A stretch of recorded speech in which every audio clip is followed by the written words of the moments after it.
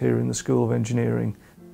We're very interested in renewable energy, in offshore renewable energy, particularly offshore floating wind platforms and tidal devices and, and, and wave power machines.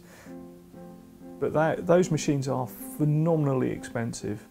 And if we're going to make that energy cost effective, then we ought to try and see if we can put together a combined platform in the sea that generates energy and then uses that energy for something, or does something else at the same time and then exports the energy.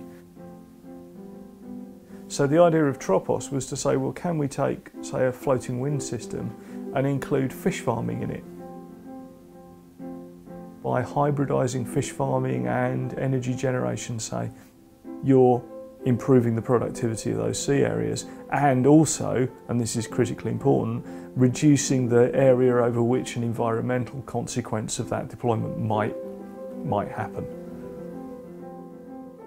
We've tested a, um, a triangular floating wind turbine platform, both in the curved wave basin here and in, and in FloWave, which could have a fishing net deployed in it, which was one of the systems that was designed in the, in the Tropos project. The work that we do is very much related to climate change and to the climate change agenda. If we can generate electricity in a renewable way, then that gives us a sustainable future. In a few years' time, the hybrid floating wind turbine system with, with a fish cage in it is something which we will see.